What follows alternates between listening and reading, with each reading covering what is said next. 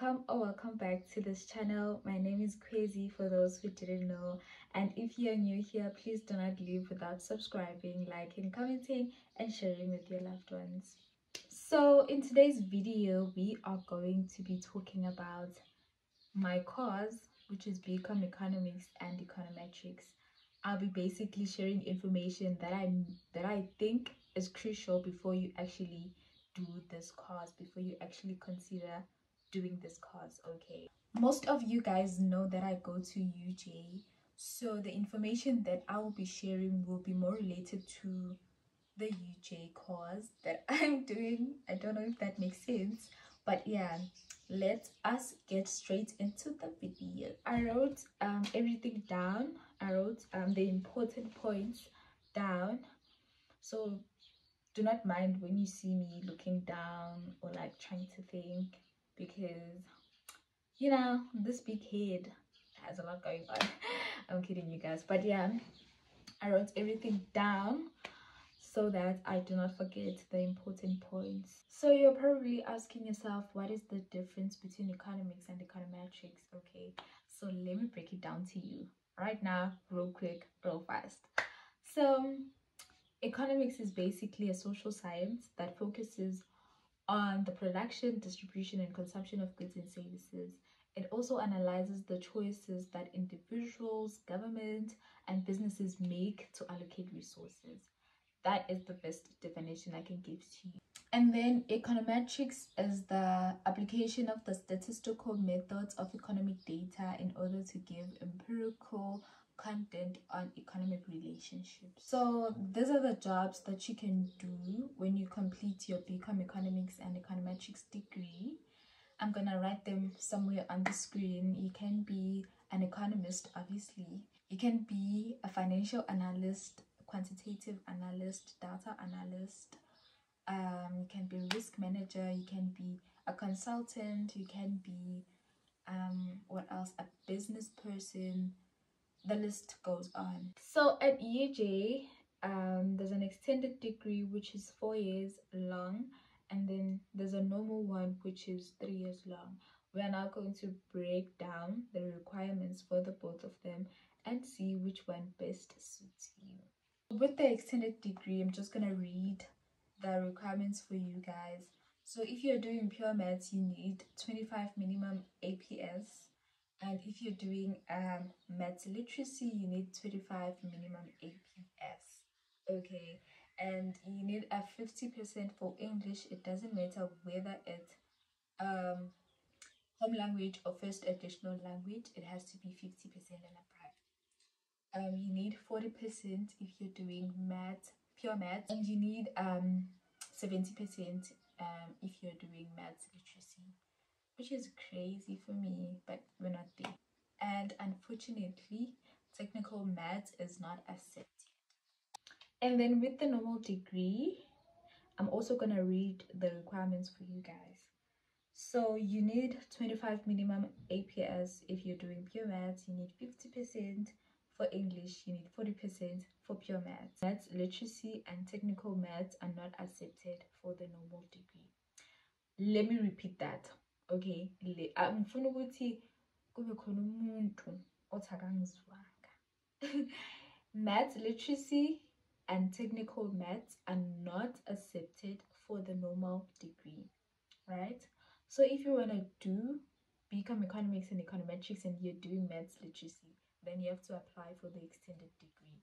But if you're doing technical maths then unfortunately you cannot apply for this degree you're not going to be accepted. So we are now getting to the modules that you do for the extended degree for the foundation year. You see that fourth year that they add that so we're now doing the modules that we're now going to talk about the modules that you're going to do when you choose to do the extended degree right?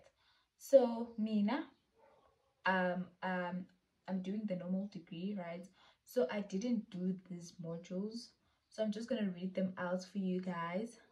And yeah i do not have information about them with the aganjani but if you if you are interested in knowing more then you can just comment down below and throw your question and I'll be more than glad to actually like seek information about it and reply to your comment. Right? Okay so the first one is mastering of economic and professional skills. That is the first one. It's a year module. And then there's language for the economic sciences. It's also a year module. There's basic mathematics and applications in economics and business. That is a semester module. And then there's another one uh, the economic and business environment right? And then there's financial recording analysis and management. Those are the five modules that you do on the foundation year of the extended degree. So when you've completed your foundation year of your extended degree you go on to do first year's module of the normal degree. I don't know if that makes sense but yeah. So let us go on and discuss the modules that you do on your first year of your normal degree. Okay so you do maths commercial law 1a um, economics 1a and you choose between accounting a and accounting 1a i do not know the difference between the two. Accounting is accounting for me. And then you choose between business management or marketing management. That is for your first year. For your first semester okay?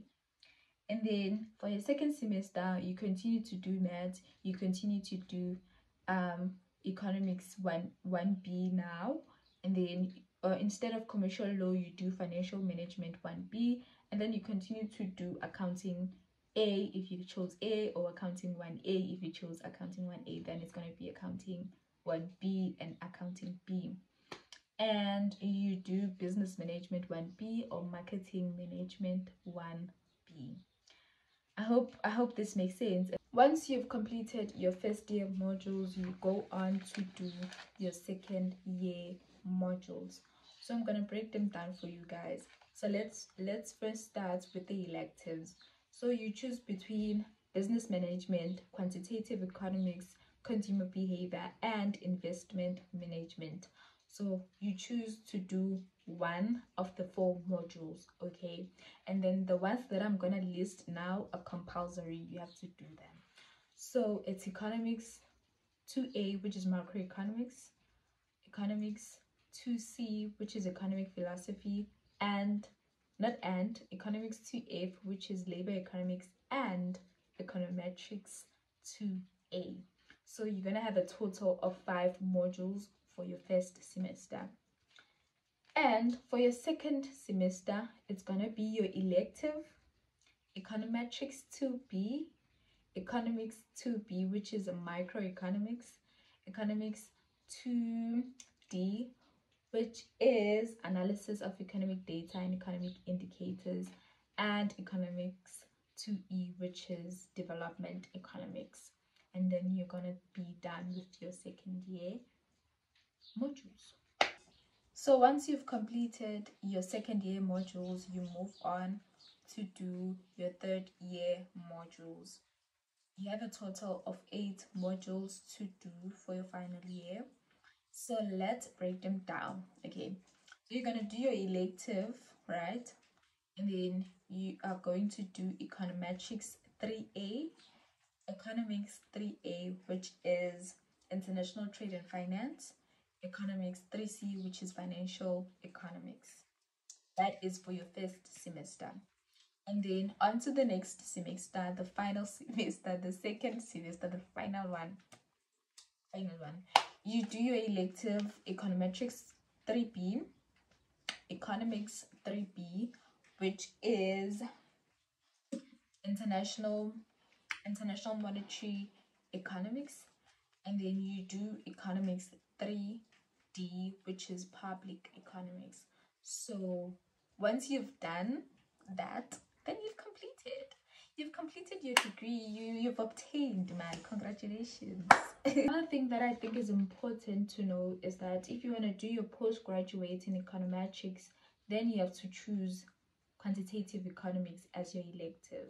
So I wanted to share with you guys that if you failed one module okay let's say for example in your first year you fail maths right? Then you can't like maths blocks econometrics okay? So if you fail maths then you can't do econometrics.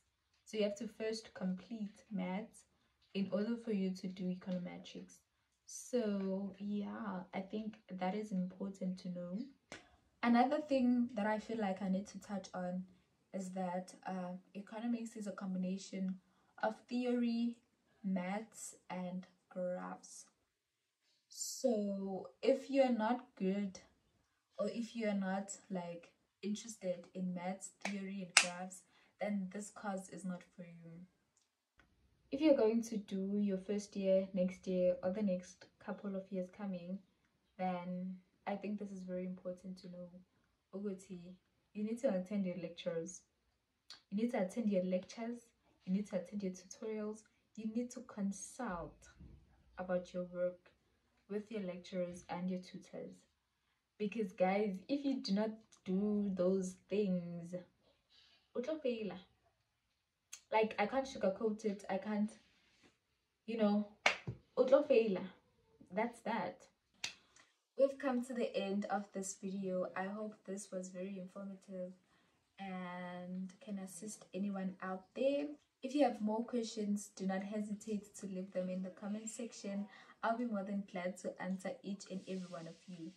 And thank you for watching until the end. Please do not leave without subscribing liking commenting and sharing with your friends. From me Khwezi your star love